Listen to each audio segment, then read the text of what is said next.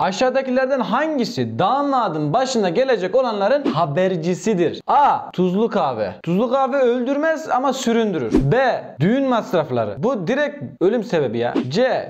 Nikah masasındayken ayağına topuklunun en sivri tarafıyla basılması. Sakat kalabilme durumu yüksek. D. Kaynanasının yaşıyor olması. Çok sıkıntılı. Bu kay, kaynana kaynana felaketlerin en büyüğü olabilir. Ama çok felaket var burada. Acaba hangi cevap doğru? Hadi bir de sizin için E şıkkı ekleyeyim. E şıkkına da kardeşim sen bunları yazmışsın da asıl olay o değil. Asıl damadın başına gelen en büyük olay yazmamışsın dediğiniz bir şey varsa E şıkkına ekleyebilirsiniz. Yoksa eğer sorunun cevabını yorumlarda görmek istiyorum arkadaşlar. Bakalım kim doğru cevabı verecek.